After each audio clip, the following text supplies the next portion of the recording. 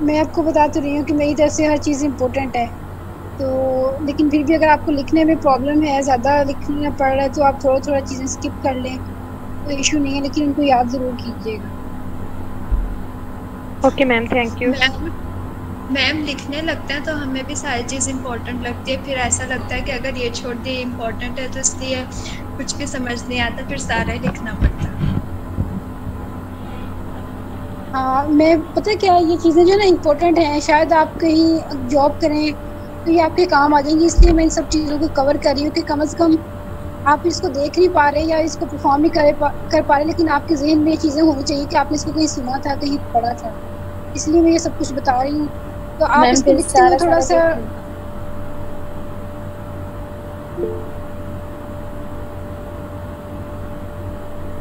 अच्छा इसको हम बाद में डिस्कस करते हैं, एक सेकंड में अटेंडेंस ले लूँ, एक मिनट के अंदर, और फिर उसके बाद हम नेक्स्ट लेक्चर स्टार्ट करते हैं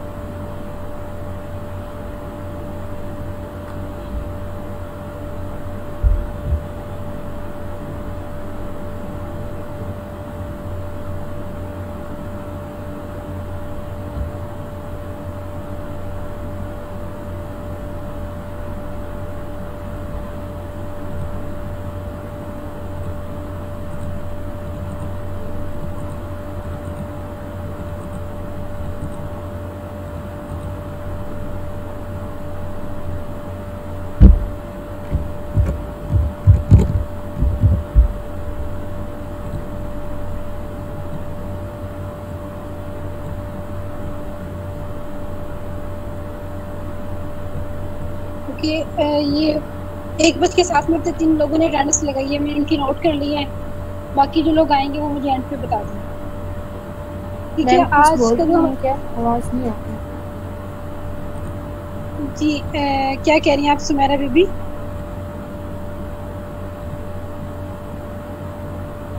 मैम आपने टाइम क्या बताया? प्लीज़ रिपीट कर। मैंने बताया कि एक बज के सात मिनट तक जो लोग आए हैं, उन लोगों की मैंने अटेंडेंस ले ली है। जो बाद में आ रहे हैं, उनकी एंड पे मैं ले लूँगी। आप लोगों को बार बार कहने की ज़रूरत नहीं है। ठीक है, और जो अभी प्रैक्टिकल से रिलेटेड इश्यूज़ होंगे, उसको हम बाद में डिस्कस करते हैं। पहले हम आज का लेक्चर जो है ना, उसको कवर कर लें। आज का हमारा लेक्चर जो है, वो टाइप्स ऑफ़ मीडिया और कल्चरिंग है। ठीक है, आज मेरे पास कोई इंटरनेट का इशू है तो मैं स्क्रीन नहीं शेयर कर पा रही आपके साथ।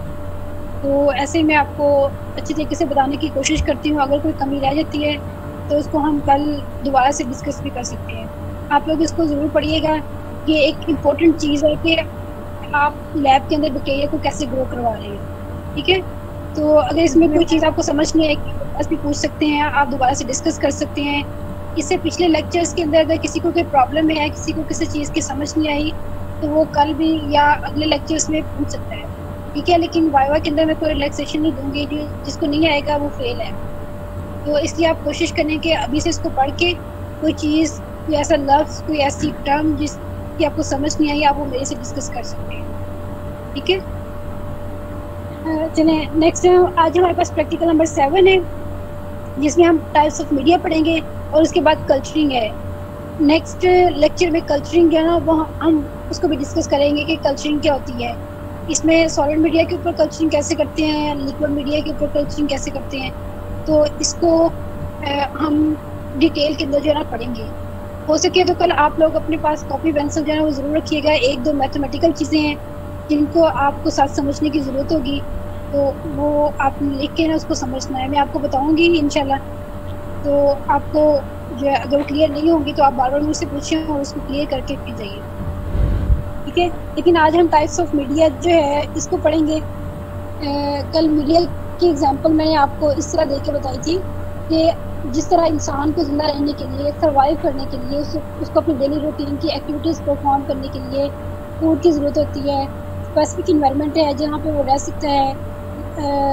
स्पेसिफिक इन्वायरमेंट है उसको स्पेसिफिक जो है वो फ़ूड चाहिए कार्बोहाइड्रेट्स चाहिए प्रोटीन्स चाहिए मिनरल्स चाहिए विटामिन चाहिए। उसकी बॉडी के अंदर इंजाइम्स होते हैं जो कि इन चीज़ों को ब्रेक डाउन करते हैं हमें एनर्जी प्रोवाइड करती है। ठीक है? तो इसी तरह बैक्टीरिया को भी सर्वाइव करने के लिए इन सब चीज़ों की ज़रूरत होती है। तो ये सब चीज़ें जो बैक्टीरिया है, जब इन्वायरमेंट के अंदर प्रेजेंट होगा या किसी लिविंग सरफेस के अंदर या लिविंग ऑर्गेनिज्म के अंदर प्रेजेंट है तो ये वहाँ से अपनी चीज़ों को ऑप्टेन कर लेता है।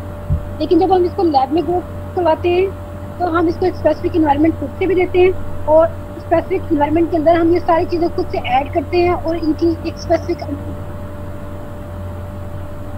ठीक है अगर हम इस स्पेसिफिक अमाउंट में इसको ऐड करेंगे तो फिर ये ग्रो करेंगे। अगर ये इसकी रिक्वायरमेंट से ज़्यादा हो जाएगी या इसकी रिक्वायरमेंट से कम होगी तो फिर भी इसकी ग्रोथ जो है वो बैक्टीरिया की नहीं होगी। तो इट मीन्स कि अगर आपको अपना कोई अपना टेस्ट करवाना है या कोई कल, अपने टेस्ट की कल्चरिंग करवानी है डॉक्टर आपको लिख के देते हैं कि आप अपने जो ब्लड कल्चर करवाएँ या यूरिन कल्चर करवाएँ या आपका कोई और सैंपल है तो उसकी भी कल्चरिंग करवाएँ। ठीक है? कल्चरिंग का क्या मतलब है कि बैक्टीरिया को लैब के ग्रो करवाया जाता है।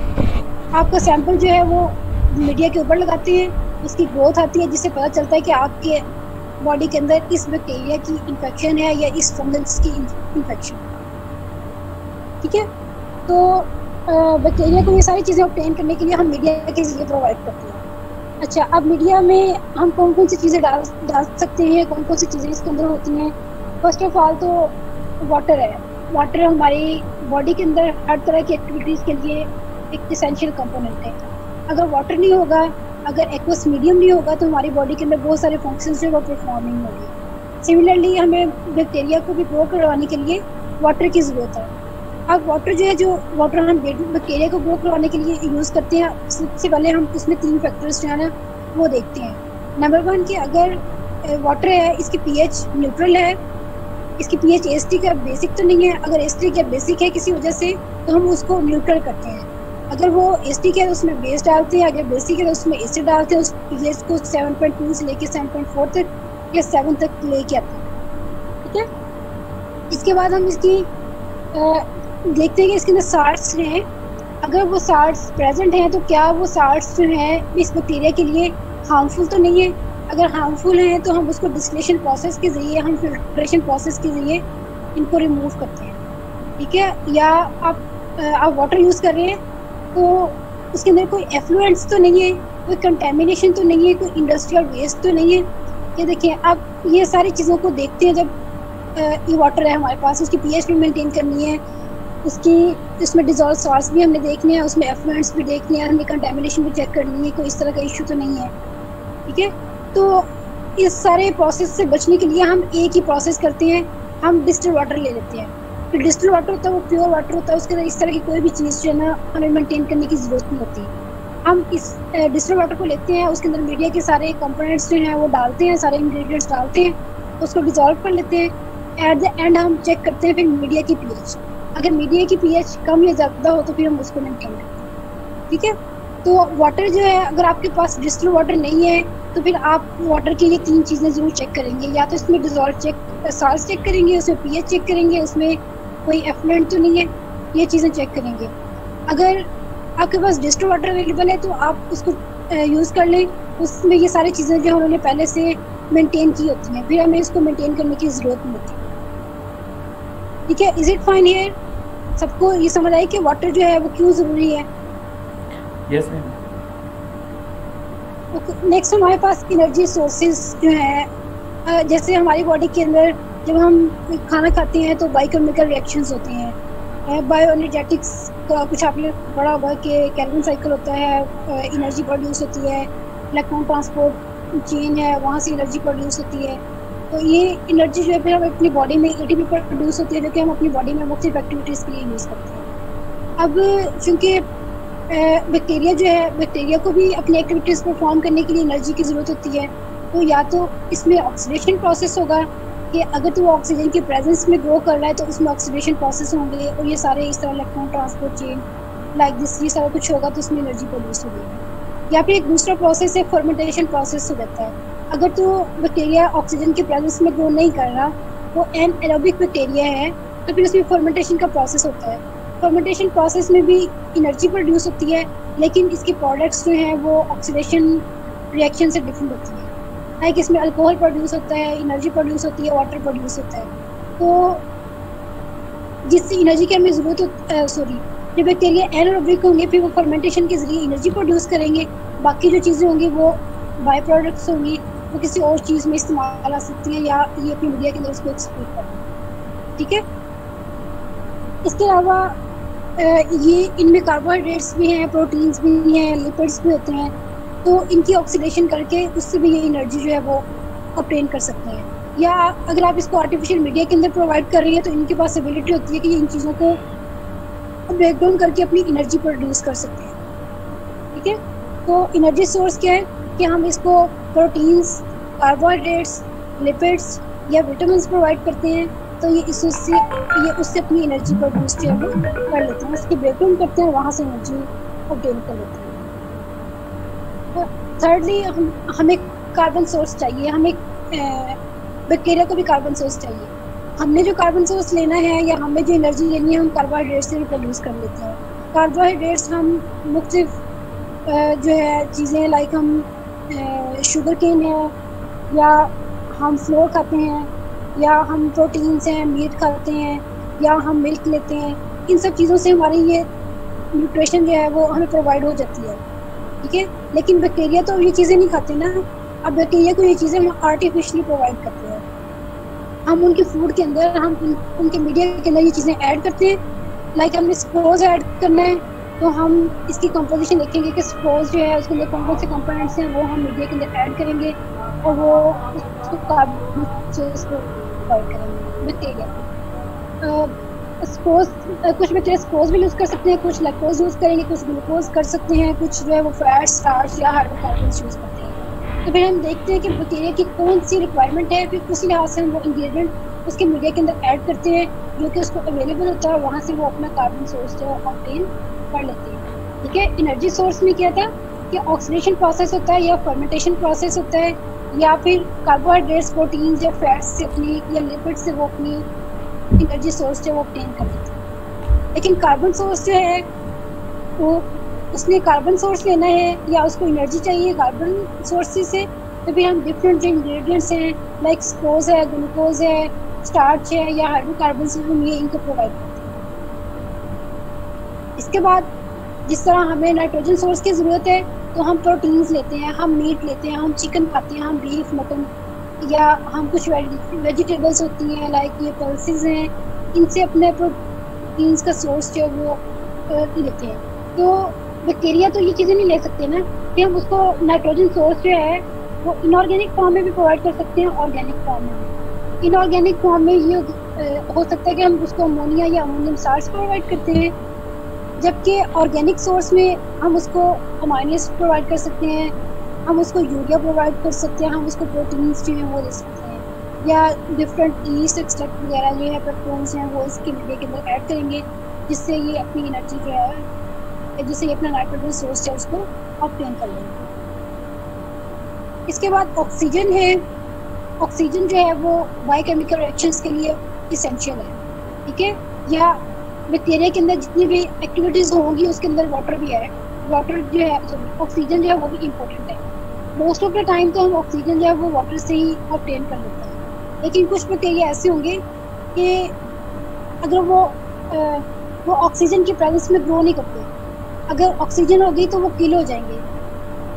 तो इस तरह के बैक्टीरिया जो है फिर वो कार्बन सोर्स कार्बन डाइऑक्साइड जो है उससे अपने कार्बन सोर्स या अपनी ऑक्सीजन सोर्स है ना कार्बन डाइऑक्साइड से ठीक है तो ऑक्सीजन के बेस के ऊपर हम बैक्टीरिया की डिफरेंट क्लासिफिकेशन रखते हैं। डिफरेंट क्लासिफिकेशन है इनकी। लाइक ऐसे बैक्टीरिया जो ऑक्सीजन की प्रेजेंस में ग्रो करते हैं, उसको हम ऑब्लिगेट एरोबिक कहते हैं, या ऑब्लिगेटरी एरोबिक बैक्टीरिया कहते हैं। ऐसे बैक्टीरिया जो ऑक्सीजन की प्रेजेंस में ग्रो करते हैं, उनको हम ऑब्लिगेट एरोब कहते हैं। ऐसे बैक्टीरिया जो ऑक्सीजन की एब्सेंस में ग्रो करते हैं, उसको हम ऑब्लिगेट एनारोब कहते हैं। है और ऐसे बैक्टीरिया जो ऑक्सीजन के प्रेजेंस और एब्सेंस दोनों में ग्रो करते हैं, उसको हम फैकल्टेटिव एनारोबिक बैक्टीरिया तीन टर्म्स मैंने बताएँगे आपको। ऐसे बैक्टीरिया जो ऑक्सीजन के प्रेजेंस में ग्रो करते हैं, उनको हम ऑब्लिगेट एरोब कहते हैं। ऐसे बैक्टीरिया जो ऑक्सीजन की एब्सेंस में ग्रो करते हैं, उनको हम ऑब्लिगेट एनारोब कहते हैं। ऐसे बैक्टीरिया जो ऑक्सीजन के प्रेजेंस या एब्सेंस दोनों में ग्रो करते हैं तो उसको फैकल्टेटिव एनारोबिक बैक्टीरिया कहते हैं अच्छा तो यहाँ पे क्वेश्चन है कि बैक्टीरिया जो है, उसके अंदर वो ऑब्लिगेट एरोब फैकल्टेटिव एरोब या वो एक ही टाइम के अंदर ऑक्सीजन या कार्बन डाइऑक्साइड की प्रेजेंस या एब्सेंस के अंदर कैसे ग्रो कर सकता है? इनफैक्ट, इन बैक्टीरिया के अंदर इंजाइम्स होते हैं। दोनों टाइप्स के इंजाइम्स होंगे। अगर तो वो कार्बन कार्बन डाइऑक्साइड होगी तो वो कार्बन डाइऑक्साइड की प्रेजेंस में फॉर्मेटेशन करेंगे, वहाँ से एनर्जी क्रिएट करेंगे। और अगर ऑक्सीजन की प्रेजेंस है तो वो ऑक्सीजन की प्रेजेंस में अपने इंजाइम्स यूज़ करेंगे। इससे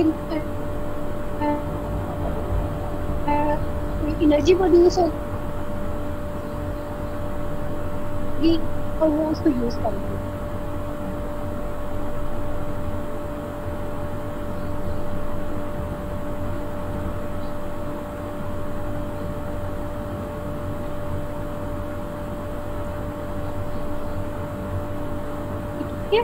तो ये दोनों की प्रेजेंस में बहुत कर सकते हैं ऑक्सीजन की प्रेजेंस में भी और कार्बन डाइऑक्साइड की प्रेजेंस यहाँ पे किसी को किसी चीज़ की समझ नहीं आई हो कार्बन सोर्स में ऑक्सीजन सोर्स में नाइट्रोजन सोर्स में एनर्जी सोर्स है या वाटर है इन सब में अगर किसी को किसी चीज़ की समझ नहीं आई तो आप पूछ सकते हैं। आपके पास एक मिनट का टाइम है। मैम ऑक्सीजन सोर्स फिर से बता दें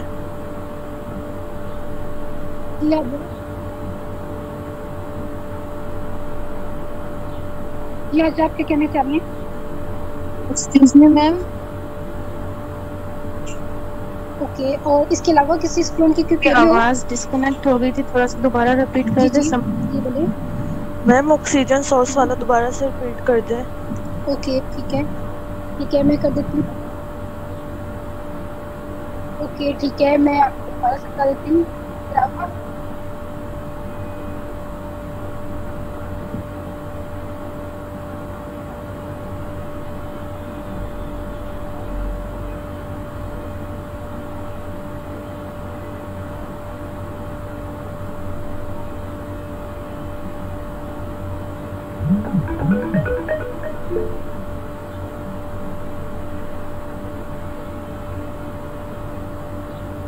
मैम आपकी आवाज़ नहीं आ रही।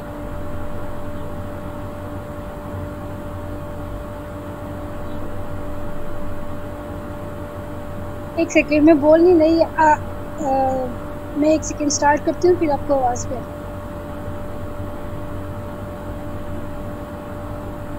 अब मेरी आवाज़ आ रही है?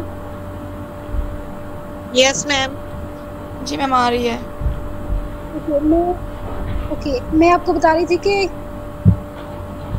ऑक्सीजन सोर्स ऑक्सीजन की बेस के ऊपर हम बैक्टीरिया की डिफरेंट क्लासिफिकेशन करते हैं।